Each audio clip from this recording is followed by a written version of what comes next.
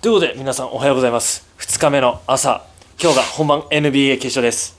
今カルビカカカカカカカリブラももうカルビねって言った。い やもうねカリブラもね来てるんで合流してまずお昼ご飯行きたいと思います。それでは行きましょう。ということでついにカリブラと合流しました、ようやく来た。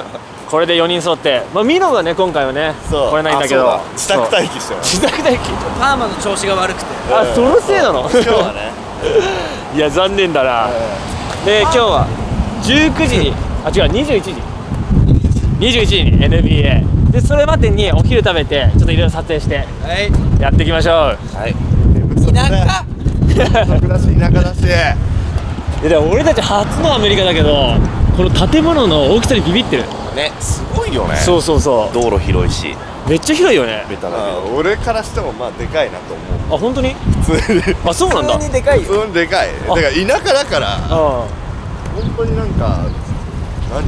広いんだ全部が。広い。し人もいないなと思う。そう人いないの。昨日夜歩いたけど誰もいない誰もいないんだよねなんでと思った。クソ田舎ここ誰もいねえ NBA 本当にあんのかなってそうだって街歩いてるさ盛り上がりとかも全然ないよね。若者が一切いない。そうそうそうそう。夜になったら多分死ぬほど来る。ああそうなのいやここら辺は多分いないんじゃないかな。かなね全然 NBA 感ないんだよここら辺。さあ回転ドアに挟まれてくれ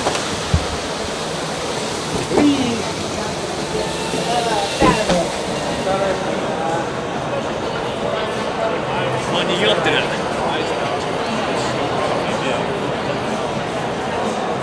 飯食います。これがベジタリアンピザ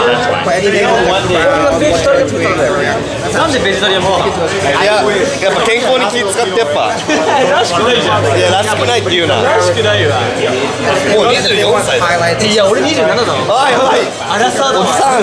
おじさん。あーめっちゃう。ま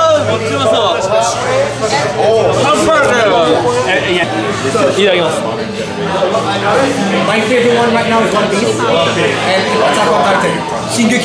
やばい。超バズ肉汁もめっちゃ入る。最高です。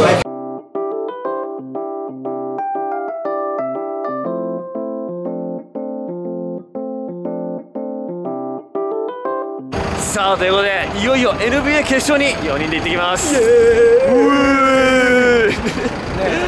うわこれはアウェーチームの。アウェーチームの設定を一人だけ。でジョージもひよったけどね。オルタナチャンネルだけに言うけど、ひよってホームの来たそう直前に変えるってね。直前に。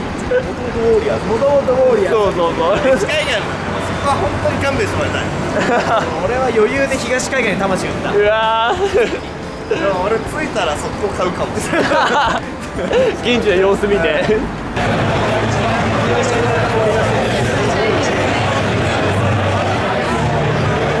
あということでここが一番試合前に盛り上がるストリートだそうです。みんな集まってますねあのあんまり昨日は人通りなかったんですけどやっぱり活気がありますねこの時間帯になってくると。